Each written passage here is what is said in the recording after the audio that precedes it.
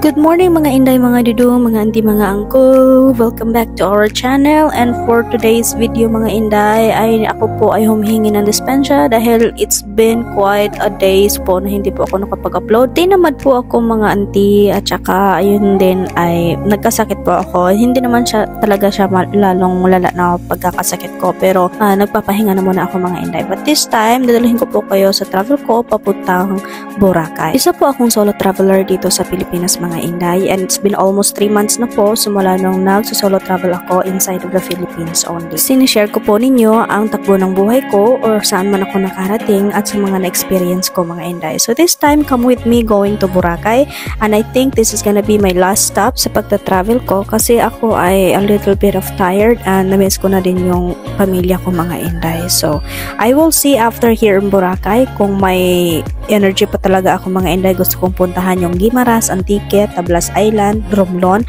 Yun yung mga malalapit lang na islas, marapit sa Panay or sa Boracay mga Inday. But this time, let's go and see Boracay. I already been in Boracay last 2017 pero hindi pa malinis yung isla na yun mga Inday. So right now, gusto ko noon muna magpahinga at gusto ko din matingnan yung perfect sunset ng Boracay at matingnan yung isla. For almost 3 months of traveling, palagi akong sumasakay ng eroplano and I always do my hand carry baggage at hindi ako nag-check in mga Inday para smooth lang yung travel ko. I flew 45 minutes on the plane and then nakarating na po ako sa Caticlan Airport at nagbabarko na po ako, I mean speedboat, tungo sa Boracay Island. And galing sa port ng Boracay ay kumuha ko na isang tricycle at ang pamasahe ko dito ay 250. And since nasa Pilipinas lang naman ako at ako ay isang solo cheap traveler, so kinaril ko na mga inday. So instead of 250, ang sinabi ko sa kanya, hindi po ako isang tourist dito. Ako lang po ay nakatira dito at nagtatrabaho din po ako dito sa Boracay Island.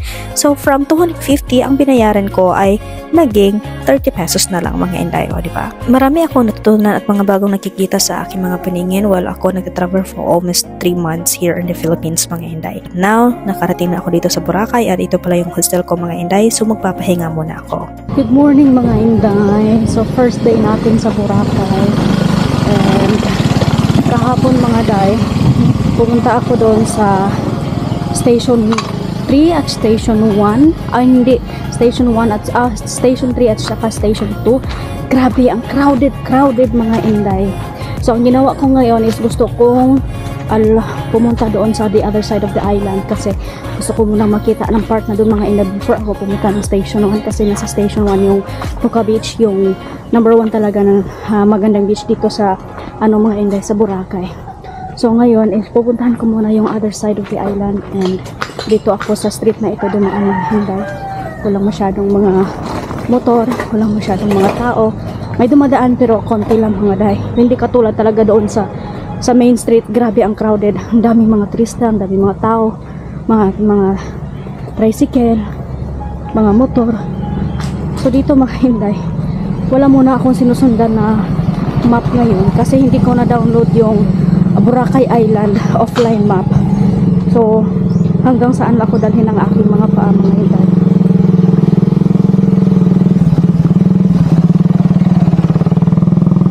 so hindi ko alam kung hanggang kailan or hanggang saan itong kalsada na ito?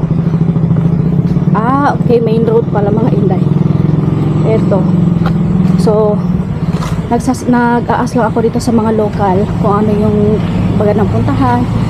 Kasi hindi ako hindi ako napapahalata na turista din ako dito mga kasi ang mahal-mahal ng pamasahe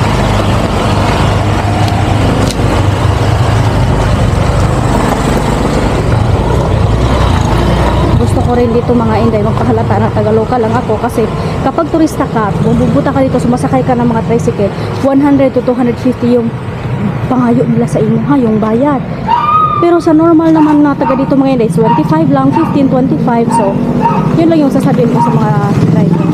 Thank you kuya. Hello mga inday.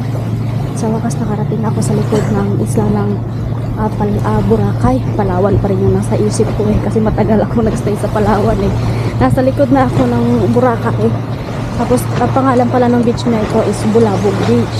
So walang masyadong tao. Ayun, may speedboat na dumating lang. Tapos, lalakarin ko to hanggang dulo. Hanggang pwede kong malakad yung tabing isla mga inay. So, buti na lang nagdala ako ng jacket kasi plano ko talaga na mag-ikot sa buong isla. So, alam kong mainit so nag-jacket at saka may may kalo na inday. Okay. May mga accommodation din pala dito. Yung sand naman is maputi, mapino, pero hindi nililinisan. Kasi likod na to eh. But still beautiful, beautiful lang din mga inday. Hello. Hola. Kasi yung pa ako, nakamedyas pa rin ako mga inday. Nakamedyas yung kagiron. Paakyat na naman tayo mga day. Tapos na tayo sa Bulabog Beach. Tuloy pa rin yung lakad natin. Alas 11 na po ng umaga. Mainit pero okay lang kasi naka-jacket naman ako. Tapos may kalo. Oh, hiking. Exercise, pampawala ng taba. May na lang kahit na one-fourth na taba lang makuna ng ating katawan okay na yun ang pawis-pawis ko na. Huy amata na. Bumili na muna ako ng malamig na tubig dito sa tindahan mga inday kasi ang pawis-pawis ko na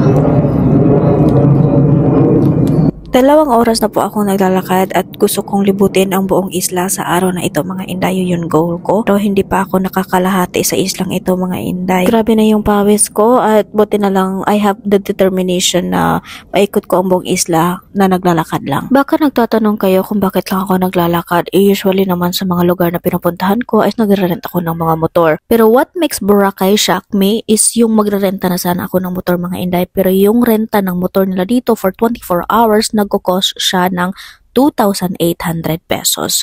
May gas mga inday ang mahal-mahal so pinili ko na lang maglakad para din makita ko yung buong isla at para na rin mga inday exercise para sa aking sarili kasi tumumba na talaga ako. dalawang oras na po ako palakaw palakad-lakad dito sa isla and malapit na po ako sa tuktok ng ah, Boracay Island mga inday so yung kaharap po dito sa mapa is station 1 na po siya pero alas 12 pa lang po naglalakad po ako ng ah, almost dalawang oras na mga inday so maganda doon sa station 1 mamayang hapon pag sunset kasi maganda doon yung sunset. Pero ngayon mga inday, since andito na ako sa tuktok ng Palaw, ah, Boracay Island, pupuntahan ko muna yung other side of the island. Dito mga inday. Tapos may mga beaches din ako na nakikita sa mapa. Kasi may internet na ako mga inday. Sinecheck ko na sa mapa kung nasaan na ako. So itong part dito sa Boracay Island mga inday is hindi hindi pinapakita ng mga tao kasi kapag pumupunta ka dito, hindi mo feel na nasa Boracay ka. Kasi nakikita nyo sa mga videos ng mga daan na dinadaanan natin, ah, hindi. Parang regular lang siya na nasa probinsya tayo mga inday. Yung kalsada, yung mga view, ganun. So, walang masyadong tao na pumupunta dito hindi, hindi to masyadong pinapakita sa social media kasi nga, eh, hindi siya kaaya-aya na puntahan. Pero sa akin talaga mga inday, kung saan talaga ako pumupunta ng mga lugar, I grab the opportunity na makita ko yung buong isla. As long as ma, ma malakad ko lang siya, fights na yun sa akin. So, I don't know how many days I'm going to stay here in Boracay Island mga inday. So, first day ko ngayon, todo-todo talaga libutin ang buong isla.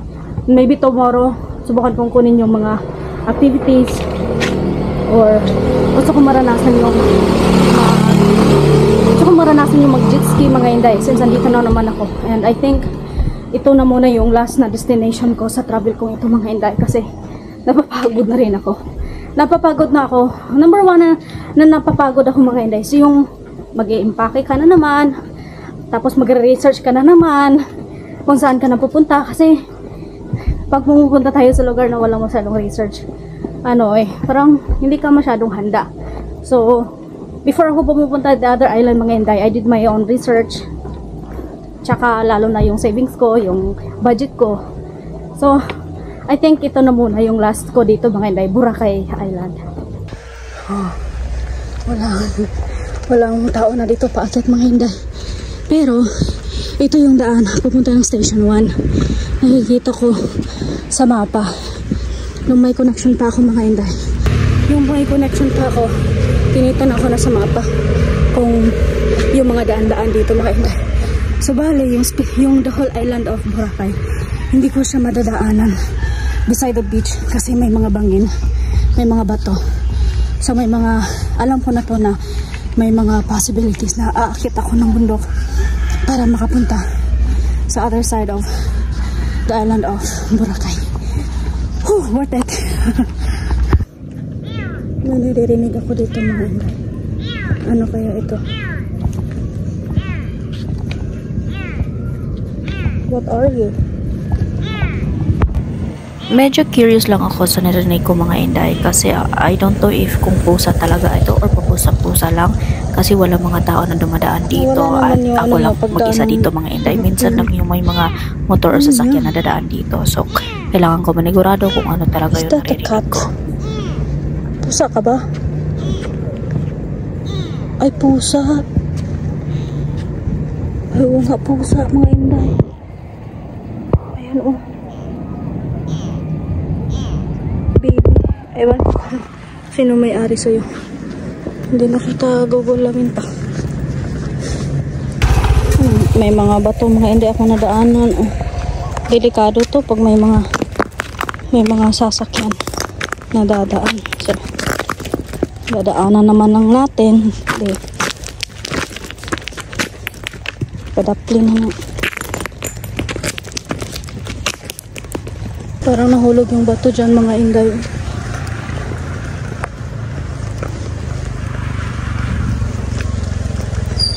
Yung, yung lalaki mga inday. Okay lang, maglalakad lang ako. Kasi kita sa entrance lang. Para hindi tayo marinta ng helmet. Hindi, okay lang kasi ano eh, ah, nagbablog ako eh. Nagbablog ko yung isla ng Boracay. Hi ka na lang. Thank you. Yung lalaki mga inday. Tinanong ko siya, nagtanong siya sa akin kung saan ba yung punta ko. Sabi ko na wala akong specific destination pero gusto kong maglakad-lakad lang. So, nag-alok siya sa akin ng 200 pesos para ah, dalhin ako doon sa keyhole. Malapit lang naman ako dito mga hinday. Tapos almost 2 hours lang naman ako naglalakad. So, bigay niya sa akin 200. Sabi ko, wag na lang, maglalakad lang ako. Sabi niya, ang layo-layo pa nun. Tapos, patuloy na ako naglalakad mga hinday. Ngayon dinalikan niya ako. Sabi niya sa akin 150. Sabi ko, okay lang, maglalakad lang ako kasi nag-vlog naman ako eh. Buong isla ng Palawan ko naman ipapakita sa inyo mga inday. Kaya okay lang, worth it lang na maglalakad ako. Ano bang Palawan? Palawan na naman yung nabanggit ko. Boracay. Buong Boracay Island ang ipapakita ko sa inyo mga inday. Pasensya na po. Pababa na naman ako mga inday. Mm. Mga inday, may nadaanan ako ditong bil na parang karatula sa daan na Boracay Wetland Converse Conservation Park. So wala siyang entrance pero may mga hagdan-hagdan mga inday. Gusto ko siyang i-check. Ayan, nature vibes talaga dito mga inday. Yung ibon. Boracay Wetland Conservation Park. Park. So park siya. So subukan natin. Puntahan natin. Mga inday, parang parang park siya noon pero hindi na hindi na wala nang nagme-maintain mga inday. So I don't think so if patuloy pa akong papasok doon. Nakikita ko yung mapa mga inday kasi may mapa sila dyan sa labas. Eh maganda yung nasa mapa. Yung may mga may mga ano sila ba kung saan ka dadaan. Pero yung titinang-tinan ko each corner ng park na ito mga inday is malapad siya. Tapos nang dito pa lang parang wala akong makikitang tao dito at hindi siya nami-maintain. So I don't think so if it's a good idea na magpapatuloy pa ako mga inday. So babalik na lang ako sa na National Highway. Patuloy, patuloy ko yung lalakarin ko mga inday. So out of curiosity, andito naman tayo, nadaanan ko naman. So chine-check ko lang mga inday pero para hindi na siya nami-maintain. So balik na tayo. Patuloy taling patuloy nating iikutin yung ah isla ng Boracay. At hanggang sa mapuntahan natin yung magandang view mga inday. Kasi so far, isa pa yung nakita ko na magandang view. Alam niyo beach, bali yung mga beaches. Pero alam ko mga inday makaka, makakakita din tayo, mapupuntahan din natin yung mga magagandang view dito. After 3 hours of walk, just beside the island mga inday, nakarating ako dito sa maliit na restaurant at siyempre gutom tayo. So ito pa yung breakfast at saka lunch ko mga inday at yung mukha ko dyan sobrang ay ewan ko if it's red or talagang nilagom na lang ko mga inday tungod sa kainit diri sa Boracay.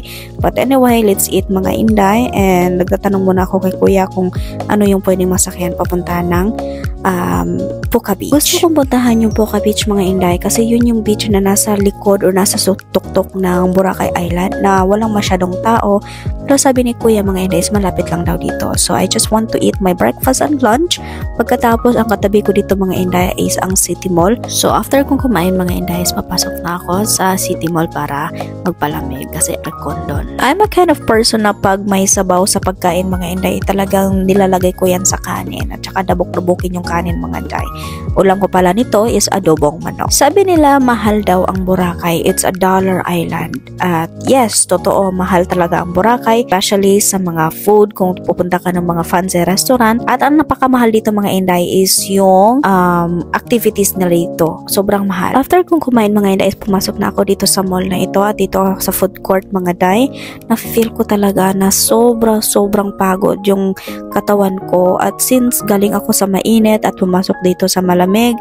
So gusto ko munang umiglap saglit dito sa loob mga inday. So actually nakatulog na nga ako dito ng about 30 minutes. And pagkatapos ng 30 minutes mga inday is nag brown out yung mall. Nag brown out yung mall mga inday. At yung mga tao ay sumisigaw. Pero sa akin okay lang. At least makapag-iglap ako ng another hour dito sa loob ng mall mga day nang naka-idlap ulit ako ay saka naman bumalik yung electricity. Kaya ayun, buong ang hayag sa palibot. Nakahanap na rin ako ng daan papunta dito sa Station 1 mga inday. Hahanap tayo kung may mapupunduhan ba tayo na hindi mainit. Ito na yung dagat dito na maganda. Station 1. May paraw sa ilim na mga inday.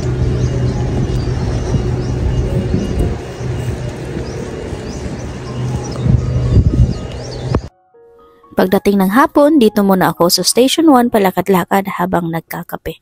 Ang ganda ng sun nila dito mga inday, talagang pinong-pino yung sun nila dito sa Boracay. One thing lang na hindi ko nagustuhan dito sa Boracay is napaka-crowded ng mga tao dito mga day.